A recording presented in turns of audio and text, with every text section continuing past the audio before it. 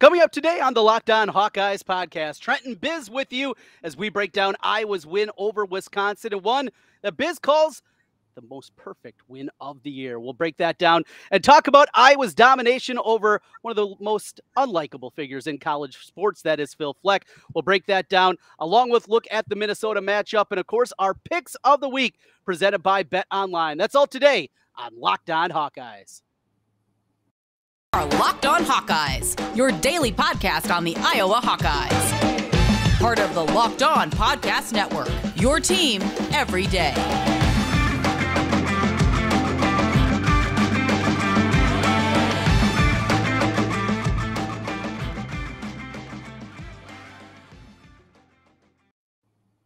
I'm Trent Condon. That's my good buddy Biz, longtime friend, and we are here on the Locked On Hawkeyes podcast. Thanks for making Locked On Hawkeyes your first listen each and every day, available wherever you get podcasts. You can also see us on YouTube.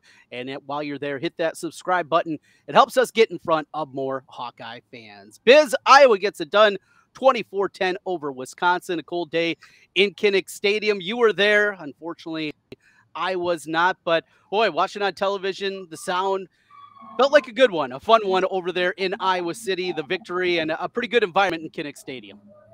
Yeah, it was a, it was a great environment and a great great win. I mean, at this point in time, you know Iowa's wins are not going to be pretty. Uh, uh, you know, you take them where you can get them, and, and like I, like you said on the uh, opener there, pretty much a perfect win for this Iowa football season. It pretty much uh, encapsulated Iowa football to a T. You know, bad offense, but man, everything else you, you can't get much better from a defensive special team standpoint than what you saw on Saturday. And, you know, to me, the thing that I loved, that was the first time I can remember in at least a decade that we were able to just legitimately control the line of scrimmage uh, from a defensive standpoint. I mean, mm-hmm. Braylon Allen had absolutely nowhere to run. And that was, you know, that, that just doesn't happen against Wisconsin lines. So, you know, uh, part, part of that Wisconsin lines not as good as, as usual, but man, I, huge, huge credit to Iowa's defensive line. They, they put up an unbelievable performance on Saturday. You know, I've had this thought and kind of watching it all play out. And as you're, you're coasting into the victory, get up 14, and it just, uh, all right, this thing's over. And it jumped into my mind that we're so used to having now great Iowa defenses, you know, how good they are, how special this group is and what they've gone through this year with injuries, with you know what happened starting with Jestin Jacobs, a guy that could allow them to play a couple of different ways. I mean, how important he would be during this stretch right now when you're playing a team like Wisconsin, having an extra linebacker out there and and having a guy that can play at such a high level. Losing him, losing Terry Roberts, uh, Jermari Harris, just on and on and on. They they have they've lost some big pieces to this defense, and yet they continue to go out there week after week and play at such a high level and do it in a couple of different ways. And it doesn't matter what kind of team they're going up against, just the the domination that they're playing at. I think we're so spoiled with Phil Parker's defense that maybe we just kind of forget just how good a we have it, and secondly, this defense individually this year, the 2022 defense, just how good it is. Well, I mean, we'll wait and see how the next two weeks play out, Trent. But right now, I mean, what they're averaging what 3.8 yards a play, which is the lowest of any team since 2011, Alabama. I mean, that's that's it's pretty impressive. Yeah. And you know what what strikes me about this defense, you know, let, let's wait to the end of the year before we we determine where they are and you know Hawkeye history or at least our history. But uh, the thing that I think this sets this defense apart from some of the other Iowa defenses is just the depth. I mean, the defensive line depth, the linebacker depth. I mean, like you said, you know, years past when we've had to go to backup linebackers, you know, 09 was a perfect year, a perfect example of that. We had a great D line, but we got hurt, and James Morris had to come in and play early, and a few other options, and Hitchens and guys like that that ended up being great linebackers, but they just weren't ready to play that early.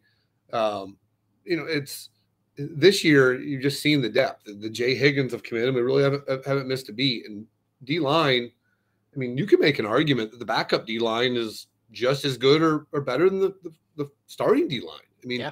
when you put in that that backup five, you put in Craig and, and Van Ness and hell, even Ethan Hurkett. That guy, That's... he makes the most of his 10 to 15 snaps a game. You know, he's every single game he's making a play or two in the backfield. And, you know, it's it's pretty impressive to see because that's the one thing that you know, I think used to be the major difference between Iowa's defenses and the, you know the SEC defenses is just depth. But we have uh, we've closed the gap in that area. The, the depth of our defense uh, across the board is is really really impressive.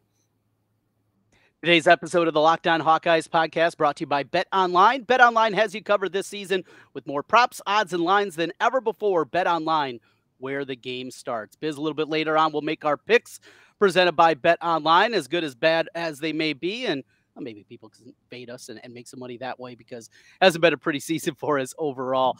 Uh, back to the defense and Cooper DeJean we saw this guy. I remember us sending uh, the highlight tapes from basketball in our text group together, and we're just we're laughing. We we also played two way basketball and uh, varying levels of success. You're a little more successful than me, but we play two way basketball. Tell you, we didn't see many people in the North Iowa Conference drop step dunking on people, and and you see it play out now on the football field. He is just an incredible athlete. He is the embodiment of an Iowa football player, and and that ridiculous athleticism that he has and the dude's only been co- playing cornerback for a year. I mean, he played every other position growing up, and but until last year, late in the season, when injuries hit the Iowa defense, he had never played cornerback before. And now, statistically, Pro Football Focus has him rated as the top slot corner in the country. This dude, I, I just you run out of superlatives to talk about when you're talking about Cooper DeJean.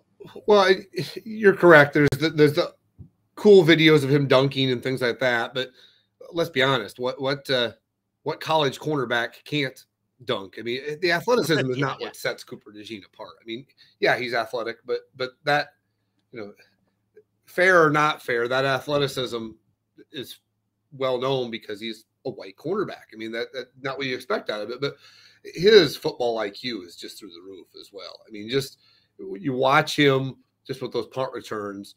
I mean, it, it's just he makes it look so damn easy. I mean, he's just yeah. kind of floats out there, and he just you know no panic Defensively, the same thing. I mean, you know, they made a comment at the end of the game. You know, it's not easy to do all the different jobs he's being asked to do. I mean, punt return's not an easy job. Uh, being on the the gunner on the punt team's not an easy job to be able to do those types of things. And he just makes all of it look so simple. I mean, it's just you know, he's.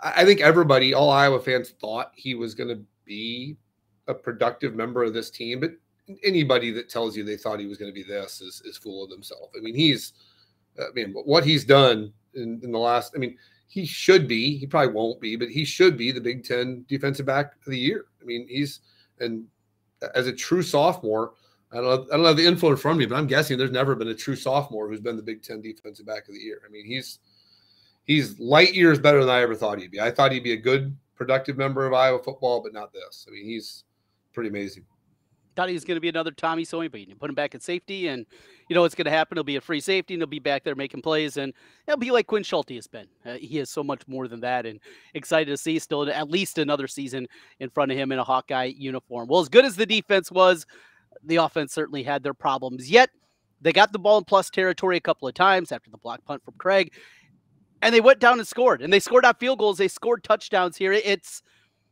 little things, and that's what we're looking at with this Hawkeye offense. And the offensive line obviously struggled mightily in the game, but made a couple of plays when they needed to, and and that was enough to beat Wisconsin. Well, for the third week in a row, Trent, you, got to give a tip of the ball cap to Spencer Petras. I mean, mm-hmm. Uh, was that a pretty effort by him? Absolutely not. But the one thing you have to agree, whether you like him, hate him, whatever, have to agree, he is one tough dude. I mean, he got destroyed on Saturday. I mean, he was getting hit early and often. And other than the early fumble, he did a heck of a job of, you know, he didn't make mistakes. He never panicked. He certainly outplayed Graham Mertz. I mean, which isn't saying much, but but uh, he just kept fighting. He you never saw any panic. That's the big thing I was worried about at that Ohio State game is he just looked had that deer in the headlights look, which you know that's hard to come back from. And even you go way back to the, the opener, South Dakota State, he looked like he had deer in the headlights that game. Also, I, you got to give the kid credit because he's kept battling and you know he did what he needed to do to get us a win on on on Saturday. Because I said it before the game and I said it a million times during the game. It was going to come down to which quarterback screwed up, and Graham Mertz did it. And that's, I mean did Petras win us the game? No, but he definitely didn't lose us the game either, and that, and that was his that was his assignment going in, and he he uh, he, he passed that assignment. So give the kid credit. He's a tough kid. He battled, and uh, you know, he, he's he came out a winner. So that's about all you can ask for for Iowa football right now because it, it, ain't going to be pretty. But if you can if you can scratch out W's, uh, you know, tip of the cap to him. Uh, might not be pretty this weekend, but a matchup against Minnesota as we continue here on the Locked On Hawkeyes podcast. We will break things down and take a look back at Kirk Ferentz. Well, leaving the taking the pig and leaving the timeouts behind. He likes to rub it in the nose of PJ Fleck just a little bit. We'll break down the matchup with Minnesota as we continue here. This is the Locked On Hawkeyes podcast. Today's podcast brought Nissan, our friends at Nissan, uh, with our thrilling moments throughout the year. This week's thrilling mo- moment in college football brought to you by Nissan, the thrilling designs behind the new lineup of Nissan intended to empower drivers as vehicles as capable as the drivers themselves. When I think of unbelievable abilities on the field this week, our thrilling moment, Biz, it has to be Cooper DeJean, right? The pick six, I mean, that play absolutely, completely changed the complexion of that football game. Yeah, I was up seven to three there, but that pick six really flipped the game on its head. I know Wisconsin scored in the late half, but has to be that play for me. What do you think? Yeah, it's either that or, or the ultimate Iowa play, thrilling play, which would be the punt down to the one yard line because yes. that, that, was huge. Also, it flipped field position and got ultimately got us our third score as well because uh, you know once we got up by more than a touchdown that in the second half, that game was over. I mean, we, we could just uh, you know, put put put it neutral at that point. But yeah, I, I, think it's pretty hard to argue against the pick six. Anytime you have a pick six, that's probably your whatever you call it, your Nissan thriller of the game. Trent. You got it. This segment inspired by the thrilling new designs featured across Nissan's new lineup of vehicles. Pursue what thrills you in the all-new Frontier, Armada, or Pathfinder today. Available now at NissanUSA.com. Trenton Biz back with you as we continue on the Locked On Hawkeyes podcast. Thanks for making Locked On Hawkeyes your first listen each and every day.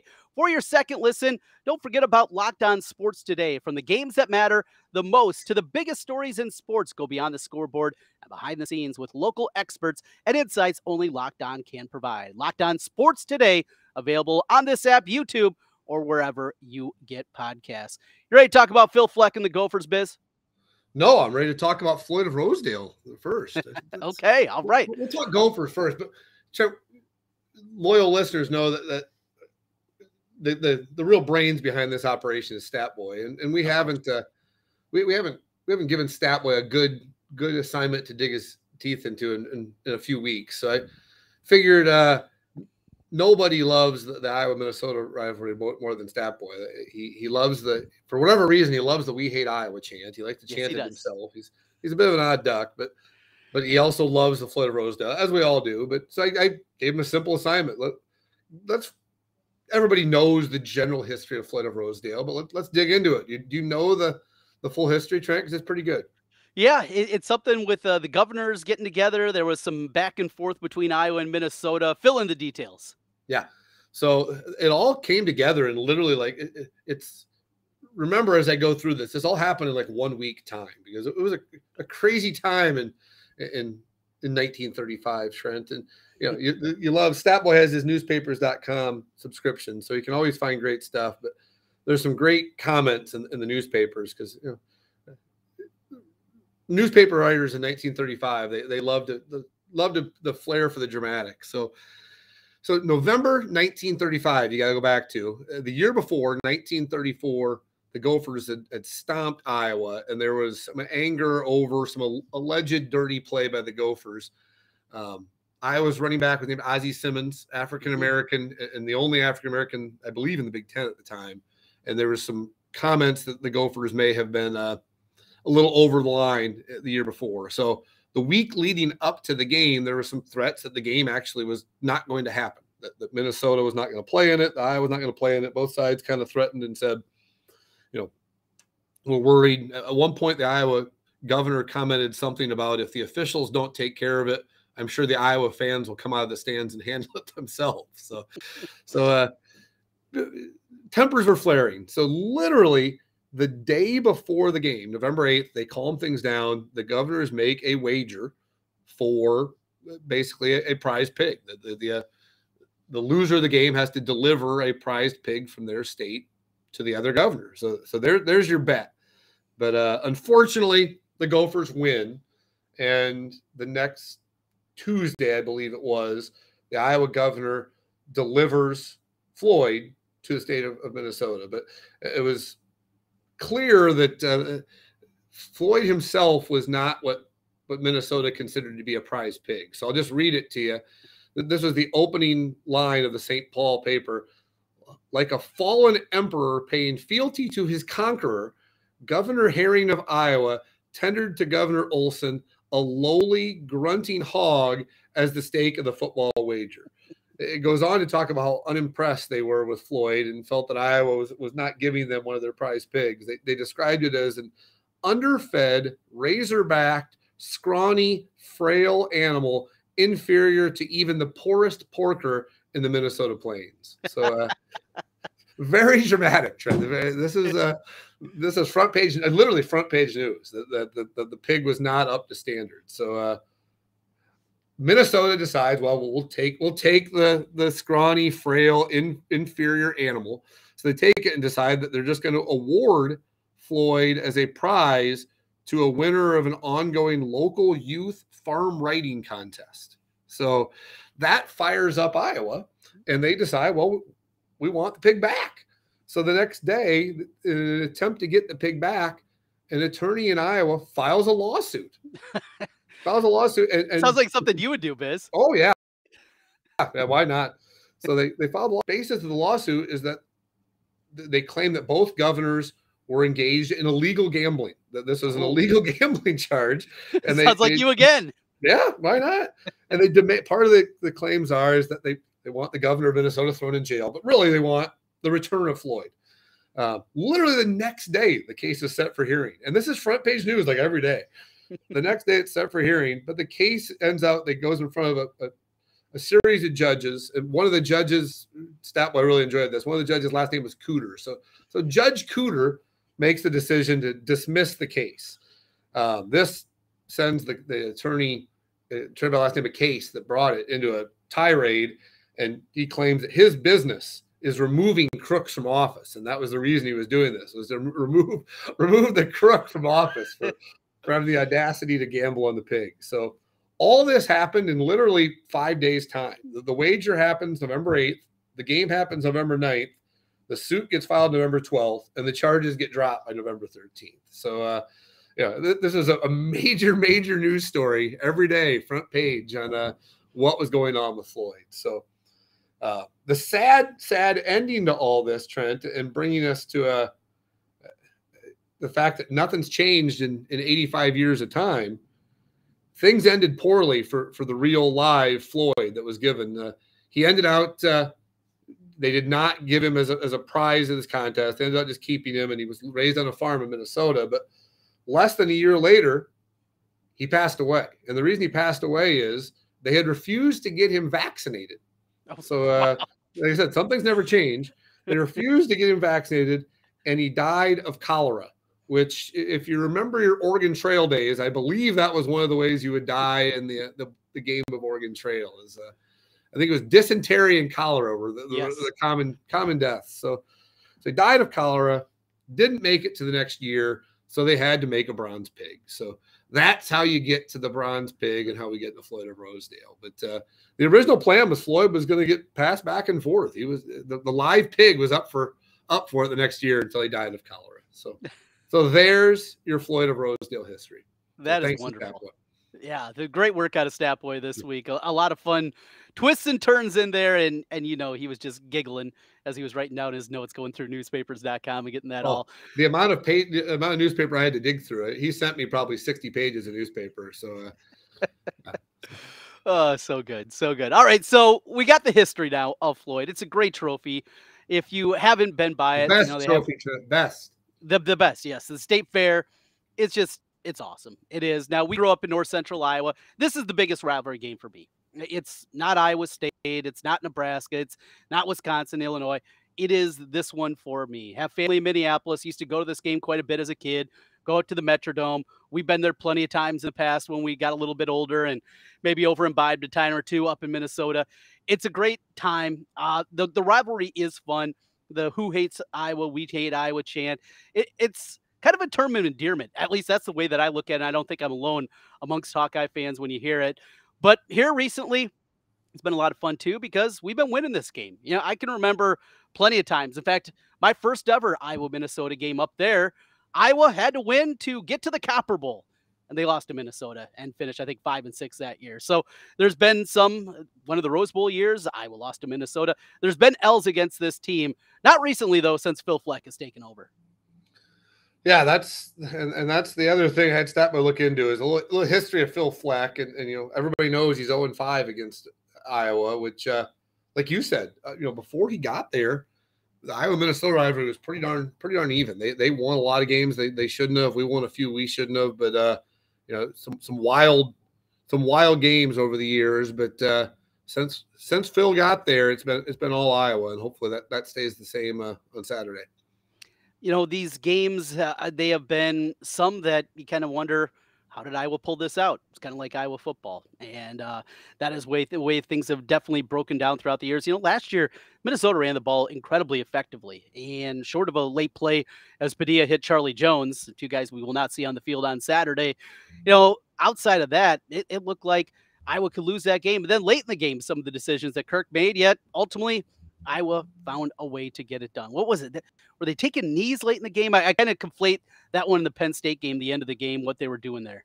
No, Penn State was the one where he took the knee and, and punted. I, we got a late field goal, then we got the ball back, and I yeah, I think we we could have ran it out. And we we you know so we it's never never good to talk about Iowa late game management. It's always it's always a, a debacle, but yeah, one of the things I'd say, that boy look two things that comes to Phil Fleck because I know you, I know you hate him. I mm-hmm. I dislike him. You hate him probably stronger than I do. So I had him find a couple good quotes just to show uh, how how big of a, a, douchebag this guy has been. Just you know, it didn't just start when he got to Minnesota. He's always been that way. And then yeah. and then we'll talk a little bit about why he's 0 5 as well. But Stat Boy dug in, found some more newspaper articles. This is pre Minnesota Phil Fleck years. And a couple funny things here. One, there was an article he found. He was a superstar athlete in a small town called Sugar Grove, Illinois, which uh, he's he's from there, and Don Beebe is from there. Oh, they're, wow. they're, the two famous. Yeah. So, but a four sports star there. They do an article about him um, as he's graduating and getting ready to go to Northern Illinois to, to play football. But he's a four sports star. He won state long jump, and that's that's in the articles right after that.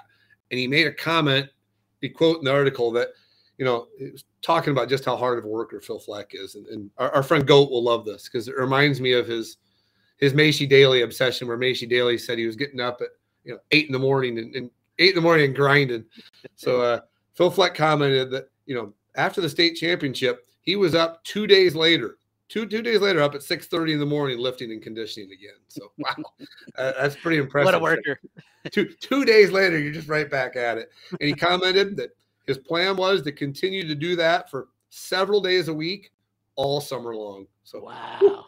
yeah if you can if you can get in the gym several days a week that that's that's what separates phil fleck from the rest of us Trent. so it, it goes back even to his high school days. He was pretty pretty proud of himself because he was he was putting in that grind twice a week that he is such an unlikable figure, and I do respect him as a football coach. I mean that that's the difference. There's been so many of these guys that come in that are just blathering idiots and they don't have anything behind it.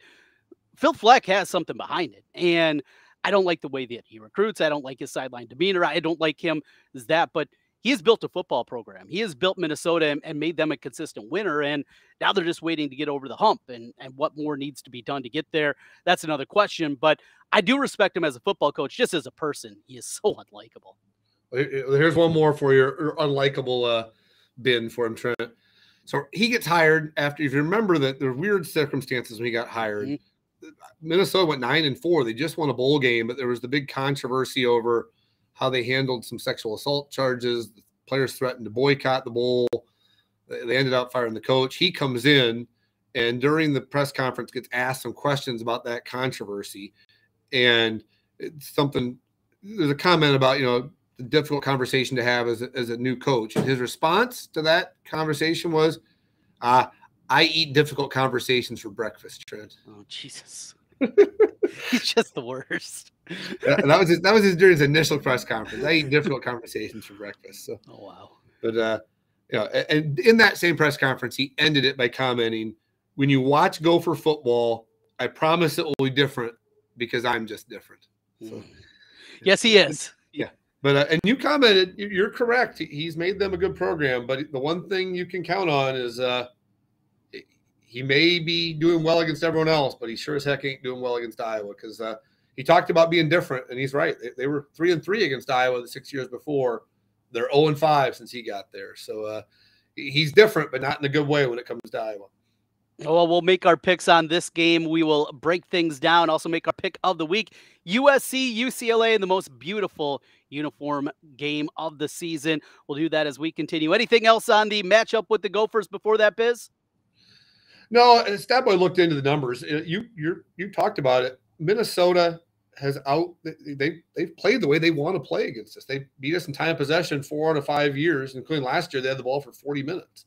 But I think what the two problems Fleck has had is a his own stubbornness. They continue to run the ball no matter what. They've fallen behind and they continue to run. 2020 lost 35 to 7, and he still gave Mo Ibrahim the ball 34 times. Um, so get off to a good start and you're in good shape because they are, he is the most stubborn. I mean, we think Kirk Ferentz is stubborn. Phil takes it to another level. They're going to run the ball, run the ball, run the ball no matter what. The other thing, amazingly, is that they've been unable to stop Iowa. We, uh, you know, the last four games against them, we scored 48, 23, 35, and 27. So uh, we've uh, we, have had success, and they have they've been kind of the opposite of Minnesota, Minnesota or Wisconsin. I mean, Wisconsin we struggle with, and, and they have our number defensively. For whatever reason, we we had some success moving the ball against Minnesota, and will will we have that success on Saturday? That's that's the million dollar question. Well, we'll see who the quarterback is. Is it Tanner Morgan? Is it going to be Kaliakmanis, who has not been good, under 50% completion percentage, three interceptions against one touchdown? Uh, let's see, it's young Athan out there, as opposed to Tanner Morgan, who has done some things in the past against the Hawkeyes. We'll pick that game and a whole lot more as we continue here on the Locked On Hawkeyes podcast. Today's episode brought to you by Bet Online, your number one source for sports information on the betting side of things, stats, news, and analysis. Get the latest odds and trends for every professional and amateur league out there football, basketball, soccer with the World Cup around the corner, even esports. They have it all at Bet Online. And if you love sports podcasts, you'll find those as well at Bet Online. The latest and the fastest, easiest ways to get all your sports betting information and your sports betting fix. Head to the website today or hop on your phone to learn more. Bet online where the game starts. Trent Condon, Jace Bisgard back with you one final time on the Locked On Hawkeyes podcast. Thanks for making Locked On Hawkeyes your first listen each and every day. All right, Biz, let's get into it here and make some picks for the week. Let's kick things off with the best game on the board USC, UCLA. And as I mentioned a little bit earlier, I love this game just because of the uniforms when they both wear their home uniforms, the baby blue of UCLA, the scarlet and yellow, gold, whatever they call it, garnet. I think garnet might be the color. Maybe that's Florida State. Regardless, it's a great uniform matchup. What do you Florida see State. here? UCLA. I, I called this one too, Arizona last week uh, on my radio show. We were talking about where's a potential upset that nobody sees. I had Arizona and uh, dabble a little bit on that one on the money line. So that was a profitable one. I think UCLA bounces back though this week. I see them bouncing back. USC has been living on the edge with that defense all season long. And Dorian Tom- Thompson Robinson, I don't see him playing poorly two weeks in a row. It's in the Rose Bowl here. I'm going to lay the point and a half. Give me UCLA. Yeah, I'm gonna be honest with you. I, I got no clue on this game. I mean, these two teams are so all over the board. The one thing I do know is that the Pac-12 is famous for shooting themselves in the foot and destroying any uh, chances they have. And U- USC still has a chance at the playoff. UCLA doesn't. So uh, for that reason alone, give me UCLA. The Pac-12 uh, tends to destroy itself every year. So I guess we agree, but I, I don't uh, have any confidence in the pick. But give me UCLA as well. All right, pick number two. We pick our favorite game of the week. What is your best bet on the board this week, Biz? Give me Okie State. I, hmm. I just think both playing the rivalry game. It's one of the last times these two teams will maybe ever play each other. Uh, I just think right now, it, it's weird to say, but Mike Gundy, I think, is a significantly better coach than, than Venables is right now. Gundy, Gundy uh, will have them ready to play, and they're getting more than a touchdown. I don't know if they'll win, but I think this will be a close close game. And so, uh, give me the Cowboys plus seven and a half. I'm going to grab Jim Mora Jr. and the UConn Huskies, bowl eligible. The this bowl was the bowl bound UConn Huskies. Now, remember, they won a national championship back in 2020 as the New York Times handed them the national championship since they didn't play during 2020. But that aside, this has been a very, very poor program here. They're going to Army, great landscape there, but getting 10 against a service academy team. This is going to be a great grinded out game. It'll probably be done in about two hours and 40 minutes. I'm going to jump aboard here, the Husky train. Give me UConn plus the 10 for my best bet of the week. And we wrap things up as we do every week with our pick on the Iowa game. Currently, the Hawkeyes are a two and a half point underdog with an over under of 32 and a half. I'm going to do a rarity here. I'm going to take a total, though I've been betting it all season long. Give me the under again. I, I was talking to my friends at Circa. I asked them, where are you going to open this thing? I, I thought they might go the lowest ever on the board in 29 and a half. They didn't. They opened it at 32 and a half, and it sits right there. Give me the under. I think we're destined for 13 9 this week. I'm right, I'm right there with you, Trent. But my, my thought process is is a little different than yours. My thought process is exact same as last week. I, I really liked Iowa to beat Wisconsin last week, but as we talked about, I just didn't trust Brian Ferentz enough against Jim Leonhard to to make that bet. And I said that the safe pick is the under. So same this week. I, I go into this week, same thing. I, I really like us to win this game. I, I I think we're a better team than they are. I just I don't really understand the love of Minnesota. You go back and look, they had a three game stretch where they got their butts kicked by Purdue, they got their butts kicked by Illinois, and they got their butts kicked by Penn State. I mean, they had like 40 yards rushing against Purdue. Iowa ran the ball for 200 yards against Purdue. I mean, I, just don't see what the love is for this Minnesota team. So I, I think Iowa wins the game, but I also, Iowa's offense, nothing's ever, you know, I'm not overly confident everybody in Iowa to win a football game right now because you got to score points to win games. But uh, uh, the safe bet's the under. I think that's the way to go. So I'm right there with you. G- give me uh, under whatever that number is because uh, you know I think first team first team to double digits wins this game. Going to be an ugly one, a chilly one up there. A high of 17 currently forecasted I'll be there, in Minneapolis. Yes, you're you're going to go up there with your oldest and uh, enjoy a nice slushy grain belt while you're up there. That thing's going to be cold quickly. That's all right. There's no such thing as a bad premium grain belt, Trent. It's, it's premium for a reason. That's right. No doubt about it. Let's finish up here as we wrap up every week with Biz's Beat. Well, Biz's Beat is a uh, anniversary, Trent. Tomorrow is the 20 year anniversary of something you'll never see happen again. 20 years ago tomorrow, you remember what happened in Iowa football? Uh, well, I would guess because we didn't play Thanksgiving week that year. It was the win uh, against Minnesota up in the Roller Dome, and we tore down the goalposts. We took the goalpost right out of the dome. So, uh, you know, there's a lot of stories going. You know, Tennessee takes the goalposts out and they wander around town, and it's a great story. But uh, I can't imagine it's ever going to happen again, where, you walk into your your rival and, and tear down the opposing goalpost. So, uh, 20 years tomorrow, Trent. It's uh, it's something that uh, you know. We're uh, you know, if we win on Saturday, we're not tearing the goalpost down, but Right. uh, you know, let, let's let's go and win and uh, at least keep the tr- keep the tradition of winning up in Minnesota alive. So uh, a pretty great uh, pour out a green belt and, and celebrate the 20 year anniversary of something you'll, you'll never see again. So That was a good happy one. happy anniversary to tearing down the uh, tearing down the goalposts and walking them right outside the the old uh, Homer Dome. We were uh, one of the first people on the field after that game. Uh, my buddy Will Lack, of course, was a walk on. We've talked about that in the past. And I asked him, hey, can we hop down there? And he's like, yeah, I think so. And so, me, cousin Chuck, uh, the Ricks boys, we were in the front row. We hopped down on the field, and then we saw a flood of people also coming with us. And then we just sprinted to the middle. Uh, got people laid out from the police that were first starting to try to knock some people down. That's a story, in fact, I, I might have to tell later this week because it was a fun one. Chuck got to be on TV later that night. Uh, my cousin from the other side of the family said, "What's what's wrong with your cousin?" Well, he maybe had a case of beer before that one, but quite a day. Twenty year anniversary tomorrow.